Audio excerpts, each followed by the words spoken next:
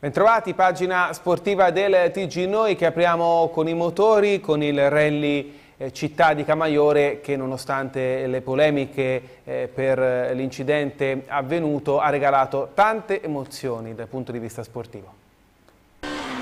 Un solo secondo, poco più di un battito di ciglia e la coppia Pisani-Manfredi vince il ventunesimo rally città di Camaiore. L'equipaggio su Renault New Clio ha preceduto di un solo secondo la coppia Gaddini-Innocenti.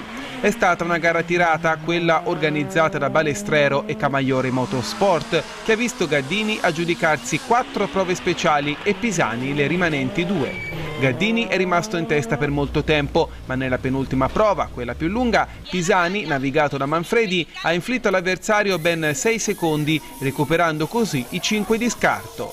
Per Pisani e Manfredi si tratta della seconda affermazione consecutiva al città di Camaiore. Sono veramente contento, sono contento per Jasmine anche perché non è stata una stagione facile per noi, eh, sono contento per Gabriele Ciavarella che comunque ci ha aiutato un'ulteriore volta, ci ha riportato qui un anno dopo e spero di averlo ripagato e speriamo di averlo ripagato nel, nel, modo giusto. Al di là dei due leader della classifica generale, la gara 89, gli equipaggi al via, ha visto protagonisti anche un altro pilota, il locale Bertolozzi, che con Raghianti aveva per la prima volta a disposizione una efficiente Clio Williams. Soddisfacente anche il quarto posto di Panzani, navigato da Baldacci, all'esordio con una Renault Clio R3T.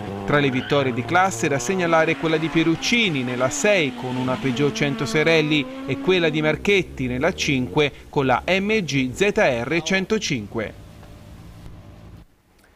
Farà tappa a Lucca domani e poi anche il 6 ottobre la manifestazione internazionale di orienteering denominata Five Five Days Tuscany che vedrà al via 500 partecipanti provenienti da tutta l'Europa. Domani la corsa di orientamento si svolgerà partendo dal complesso di San Francesco alle 9.30 del mattino. Adesso il calcio, torniamo sulla vittoria del Ghiviborgo contro la Massese raccontandovi nel dettaglio la partita. Nella quinta giornata del campionato di Serie D, Ghiviborgo ospita allo stadio Porta Elisa Lamassese di Andrea Danesi, squadra che si candida ad un ruolo da protagonista e che viaggia nella parte alta della classifica con i sette punti incamerati in quattro partite. I bianco-rosso-azzurri di Fanani cercano la prima vittoria stagionale, tre punti in grado di cacciare i fantasmi di un avvio tutt'altro che esaltante, nonostante tante buone prestazioni che si sono risolte in un solo punto. Ed è proprio il Ghiviborgo a mostrare sin dall'inizio un passo in più. Nel primo tempo Taddeucci e compagni mettono alle corde bianconeri, sfiorando a più riprese il gol del vantaggio. La poca cattiveria in fase realizzativa, un po' di sfortuna e un Barzottini che in qualche maniera riesce sempre a cavarsela impediscono però ai padroni di casa di trovare la via della rete. Dopo tante occasioni sprecate nel primo tempo, i gol arrivano nella ripresa.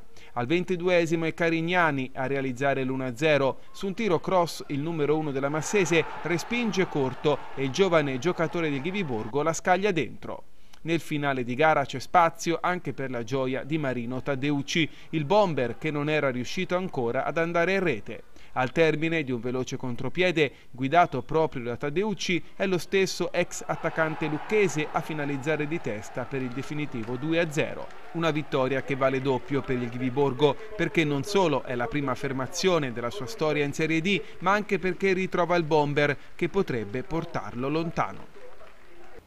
E adesso il basket, i nuovi colori biancorossi portano bene alla Geonova Centro Mini Basket Lucca che all'esordio in C-Silver vince subito contro la Leburnia Basket 68 a 53, un incontro a due facce, i lucchesi hanno faticato nei primi due quarti, poi sono venuti fuori alla distanza grazie a Danesi, autore di 18 punti. E sempre in C-Silver da segnalare la sconfitta del Bama Altopascio battuto a domicilio dal Prato 71 a 65 si salva Caciolli autore di 21 eh, punti. E chiudiamo con il tennis perché si sono disputate ieri le finali del torneo Open maschile e femminile secondo trofeo Alimac città di eh, Pietrasanta. La finale maschile ha visto di fronte Matteo Marrai e Adelchi Virgili, la vittoria a Marrai con il punteggio di 5-7, 6-3, 7-6, mentre nella finale eh, femminile, quella fra Corinna Dentoni e Giulia Remondina, è stata quest'ultima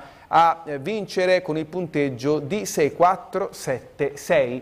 È tutto per la pagina sportiva, una breve pausa e poi la terza parte del TG Noi.